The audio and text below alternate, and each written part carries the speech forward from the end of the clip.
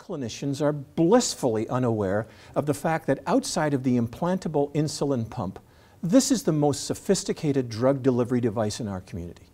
And hundreds of millions of dollars are spent each year perfecting the design of this device so that it delivers a precise aliquot of nicotine as rapidly and in a way which is misperceived as being pleasurable as possible.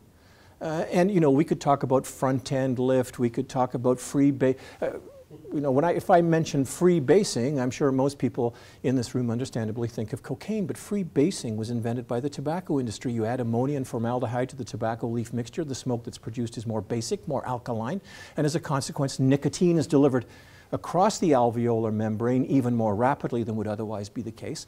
And we know that the rapidity with which a drug is delivered and sating a need for a drug is an important determinant of, of its propensity to induce and maintain addiction, et cetera, et cetera, et cetera. Um, and we could take the entire hour talking about the elements of cigarette design. I'm not going to do that.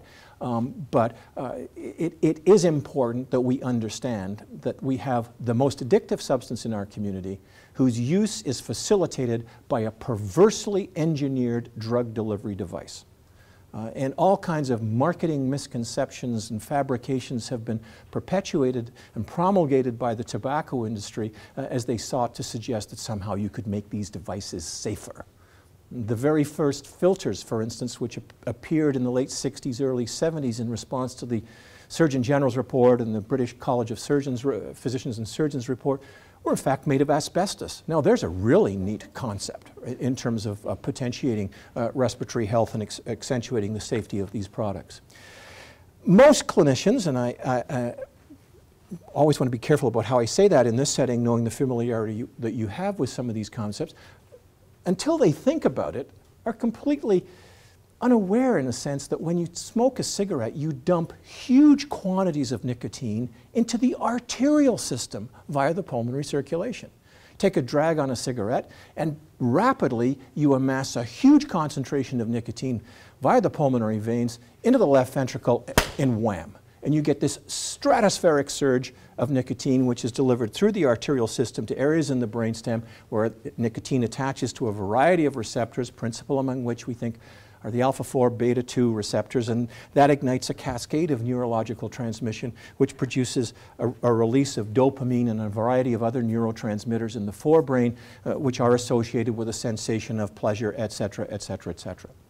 And simply put, uh, the brain structure, the brain function, the brain chemistry of smokers becomes different from the point at which they become addicted to nicotine, which takes about three days once you've learned to inhale tobacco smoke because then you induce a significant and substantial and persistent upregulation of nicotinic receptors. And from that point on, in order to maintain some semblance of neurophysiological equanimity, smokers require the constant readministration of nicotine. And I know that all of you wanted to learn more about the alpha 4 beta 2 nicotinic acetylcholine receptor, and um, I promised uh, to oblige. And when nicotine attaches to this receptor, this flower petal like receptor opens wide, ions flow into the underlying neuron, and that triggers the depolarization of those neurons and the mechanisms which I simplistically portrayed in the slide before me uh, take place. Um, the other point, and I, I, think I alluded to this, is that most smokers smoke to maintain a certain constancy of nicotine level. Uh, and all smokers have kind of this idiosyncratic personalized level of nicotine. It tends to be pretty typical amongst um, moderate to heavy smokers, but nonetheless there is personal variance. And this slide just shows the rising and falling levels of venous nicotine in association with a metaphorical cigarette. That's the jagged green line. The red line is that comfort zone. The orange and yellow lines represent levels of nicotine produced by the conventional use of, of, of, fixed dose nicotine replacement therapy. This particular graph represents somebody who smokes quickly in the morning in order to get their nicotine levels up high. Um, many of our patients smoke during the night. We don't know that because we make assumptions that people don't smoke during the night. We never ask them about it. Uh, and I guarantee you that if you have heavy, heavy smokers, many of those smokers are, in fact, smoking during the night, and it will usually be rationalized as, well, doc, I'm getting up to go to the can.